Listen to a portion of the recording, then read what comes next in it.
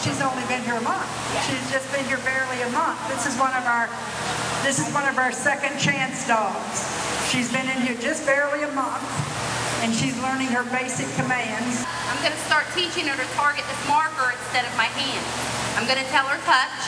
She's going to touch it with her nose, and I'm going to reward her and reward her. Once she understands that I want her to touch this with her nose, I'm going to take it a step further by holding out until she opens her mouth on it.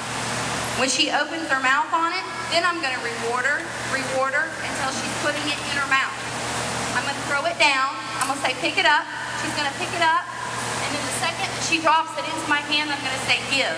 So it's kind of like you're conditioning her and you're shaping the behavior that you want her to do before you start naming. Whenever I get upset or it's stressful here, I just grab those dogs and lay down with them, put in my lap, and it goes away. Really? It's wonderful. It sounds so simple. It is. They said to take medicine for migraines, for depression. I suffer from depression really bad. They diagnosed me with post-traumatic stress disorder, but nothing. Nothing. Why am I taking this? This is my medicine right here. I don't need it. Um, and I truly believe that. And I told Lisa, I said, wait till you, you have them around you. They they're your medicine right there. That's It's got to be such a... it's awesome. Everybody knows. They say, you know, they say, you know, sometimes, you know, in the dorm, I live with 71 women, so sometimes it gets stressful here. Or somebody will really make you angry.